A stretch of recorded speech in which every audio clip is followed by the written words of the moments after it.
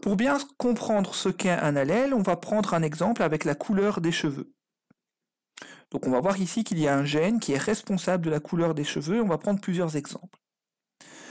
Le gène de la couleur des cheveux se trouve sur euh, la paire de chromosomes 16. Donc, pour rappel, dans le noyau de vos cellules, vous allez retrouver de l'ADN qui va être compacté en petits bâtonnets qu'on appelle des chromosomes. Ces chromosomes vont être classés euh, et on va en retrouver 46. C'est ce qu'on appelle un karyotype. On va voir que sur chaque chromosome, il y a des gènes qui ont une fonction. Sur la paire de chromosomes 16, ici, donc sur ces deux chromosomes, ces deux petits bâtonnets, on va retrouver un gène, le gène qu'on appelle MC1R, qui va être responsable de la couleur des cheveux et de la couleur de la peau.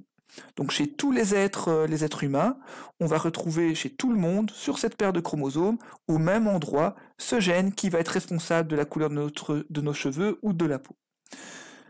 Euh, donc ce qui est important de noter ici, c'est qu'on va retrouver différentes fonctions sur les différents chromosomes.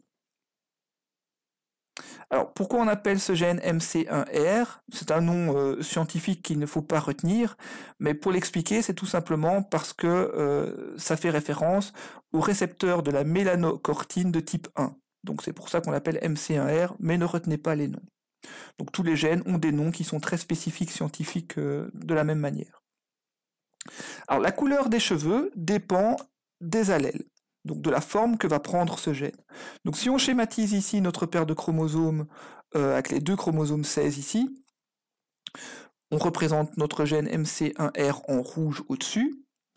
En fait, c'est tout simplement ce gène, donc ce petit morceau d'ADN, qui va produire une protéine qui donne un pigment noir. Donc, euh, de manière générale, ce pigment bah, donne des cheveux foncés, par exemple. Ce pigment, c'est ce qu'on appelle le mélanine. C'est pas important non plus. Retenez simplement que le, pigment est foncé.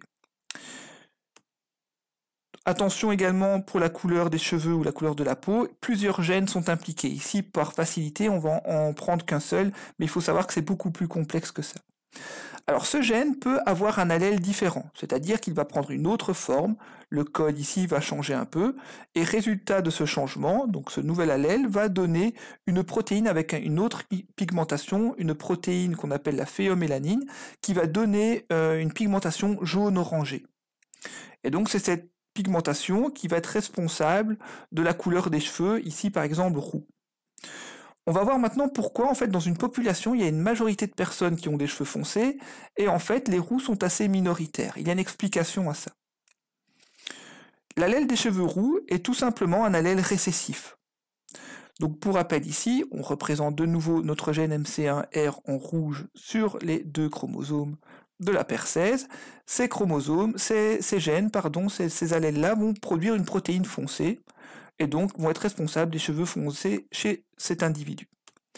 Par contre, que se passe-t-il si on a les deux allèles, donc l'allèle pigment foncé et l'allèle pigment jaune orangé Dans ce cas-là, l'individu aura toujours des cheveux foncés. Donc les deux protéines vont, vont être exprimées, mais on observera par exemple quelqu'un qui a des cheveux bruns ou des cheveux un peu plus foncés. Pour qu'une personne ait les cheveux roux, il faut que euh, cet allèle, l'allèle cheveux roux, soit exprimé deux fois. Donc à ce moment-là, il y aura en majorité de la phéomélanine qui va être produite et donc l'individu aura les cheveux roux. Donc dans notre exemple, on voit que l'allèle cheveux roux est un allèle récessif, il doit être présent en deux exemplaires pour s'exprimer, alors que l'allèle classique MC1R, donc euh, pigment foncé, est un allèle dominant. On voit que un seul allèle euh, est nécessaire pour l'expression des cheveux foncés.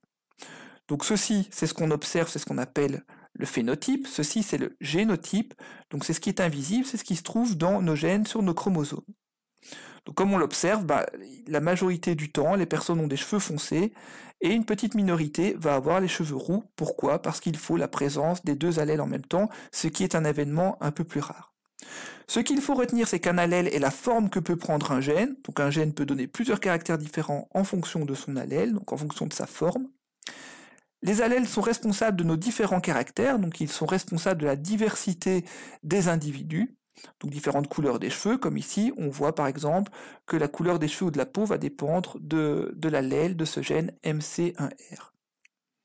Un allèle dominant s'exprime toujours, même s'il est en un seul exemplaire, alors qu'un allèle récessif ne s'exprime que s'il est en deux exemplaires, donc s'il est présent deux fois, et donc il n'y a pas d'allèle dominant.